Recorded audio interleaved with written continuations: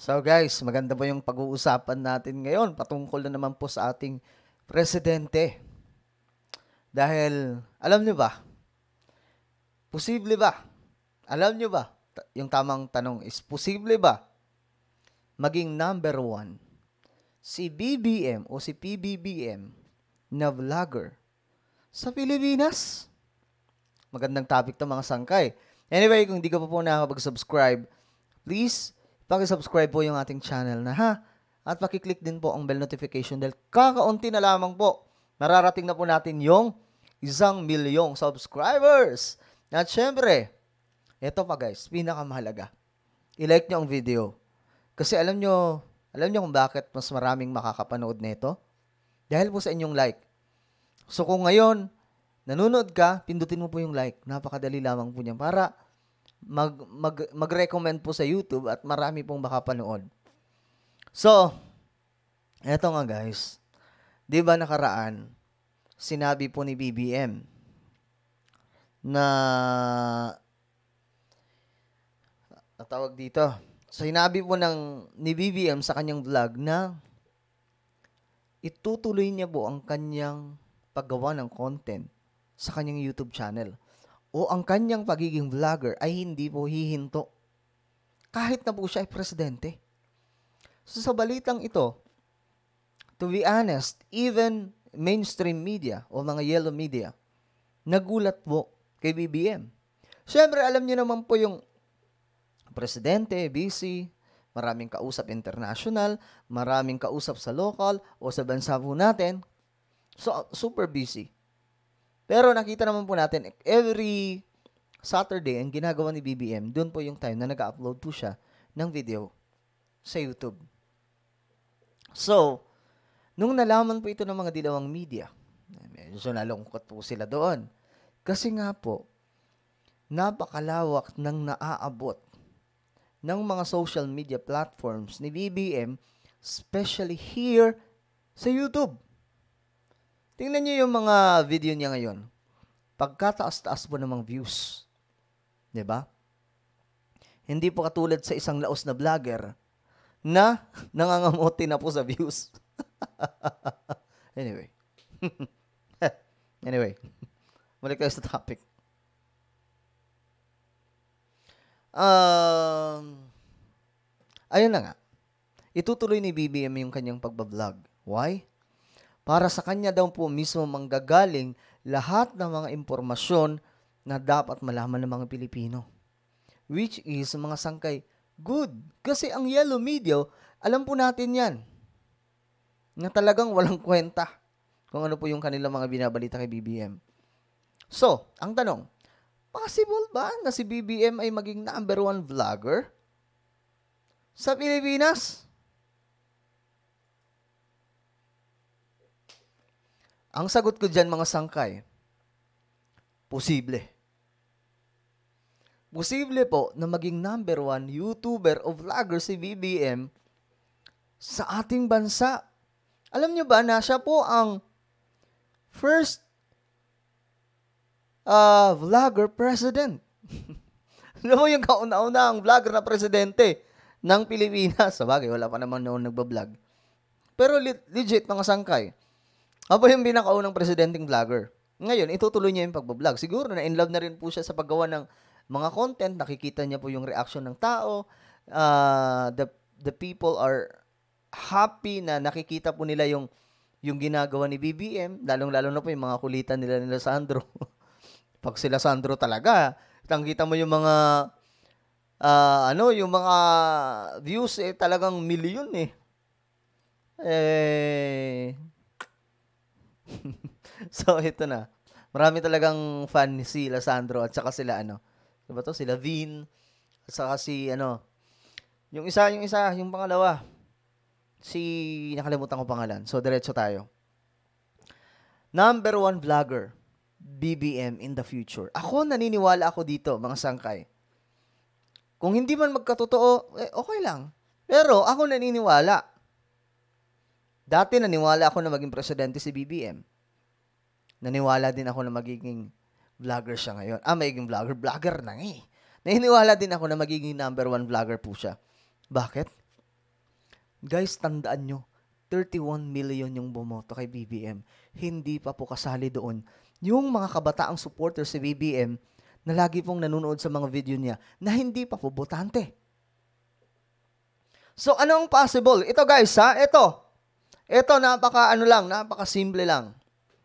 Ngayon, ilan po yung subscribers ni BBM? Check po natin. Bongbong Marcos. Check natin yung subscribers niya. Kung ilan nga ba ang subscribers. So, nasa ano? Nasa 2.61 million subscribers. Napakalaki po nun. Tapos yung mga views niya, eto ha, ito yung mga latest na pumapalo. Ito yung pumapalo ng mga views niya, mga sangkay. Pakinggan nyo. Pwede bang ilatag? Ito yung mga latest kasi. Wait lang ha. Lalatag po natin. Relax lang kayo dyan.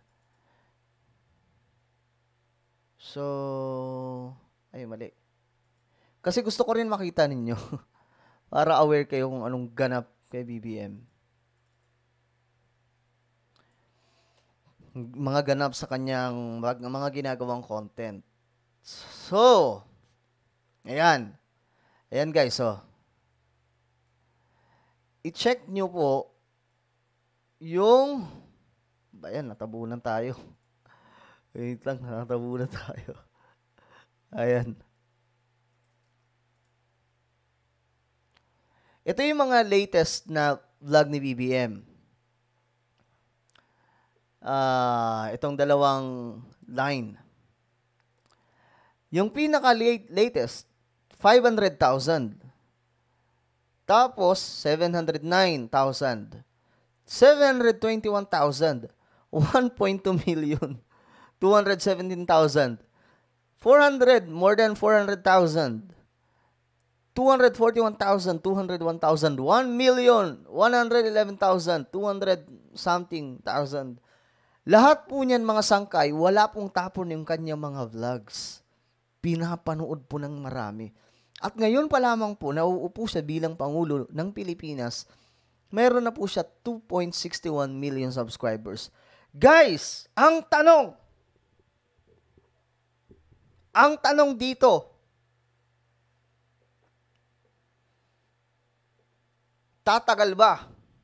Ah, ilang taon mamumuno si BBM sa ating bansa? Lang taon. Six years. Anim na taon. At isipin nyo guys, sa anim na taon, ano ang magiging status ng, ng ano ni BBM? YouTube channel. Ilan kaya ang madadagdag sa anim na taon? sa kanyang YouTube channel. At take note mga sangkay, ito ha, take note, tandaan nyo to. Remember, si BBM po ay magiging presidente ng Pilipinas na vlogger. Ibig sabihin, dahil siya po ang presidente ng ating bansa, lahat ng tao makakakilala sa kanya, papanuurin siya, aabangan siya. Laman siya ng mga balita, laman siya ng kanyang vlog, at ako nakakasiguro mga sangkay ha, papalo ito ng pagkalaki-laking subscriber si BBM pag upo na pag-upo niya sa pagkapangulo ng Pilipinas. Tindi nito, mga sangkay. Kauna-unahang, hindi ko alam sa ibang bansa ha, pero sa tingin ko si BBM ang kauna-unahang vlogger na naging presidente sa Pilipinas at maging siguro sa buong mundo. Wala naman akong nabalitaan na isang vlogger na naging presidente. Komedyante. Yung, yung presidente ng ano, yung presidente ng ng Ukraine. Komedyante lang yun. Pero si BBM, hindi naman po basta vlogger yan. Baka isipin nyo, vlogger lang si BBM. Nakaw po. Magaling na politiko si BBM. Hasang-hasa na ilang taon na po siya sa government office. Marami na pong natulungan, napaunlad po ang Ilocos Norte. Mayroon pong legacy na windmill na pilit po sinisira nitong mga dilawan na hindi daw po sa kanya mga mga ungas. So, ako naniniwala, mga sangkay ha, balikan po natin yung vlog na to after ilang year. Magiging number one si BBM na vlogger. Bakit? Presidente po yan ng Pilipinas. Sa tingin mo, hindi pa panuorin yan ng mga Pilipino? Kahit mga anti-Marcos, baka manunood sa kanya. Baka makikisubscribe na rin para lamang po manood, para may ataki, may, meron po silang isyong ilalabas. So itong nakikita po natin na 2.61 million subscribers ni BBM, wala pa to. Hindi pa po yan. Hindi pa po siya nakakaupong presidente. How much more kapag umupo na po siyang Pangulo ng Pilipinas? Diba? Tingnan nyo yan kung anong magiging ganap. So ayan mga sangkay, no? Ayun lang, yun lang yung sa akin. Ako naniniwala na magiging number one na vlogger ang ating Pangulo na si Bongbong Marcos. Lalong-lalo na po mga sangkay pag ibibidan niya po dito yung mga accomplishments. Nako po, tutumugin po yan maraming Pilipino. Tutumugin, kahit pa mga anti-Marcos, magiging pro-Marcos yan. Lalong-lalo na po. Ito pa guys, pag naun na paunlad ni BBM ang Pilipinas, Ewan ko lang kung hindi sumabog yung kanyang YouTube channel ng husto dahil sa dami ng subscribers. So ayun, maraming maraming salamat po sa inyong panonood. Hanggang sa muli, this is me, Sangkay Janjan. Please like, comment, share, and subscribe. At palagi nyo pong tatandaan that Jesus loves you. Ngayon, mga sangkay, puntahan nyo yung YouTube channel ni BBM. Subscribe nyo po. All right, God bless.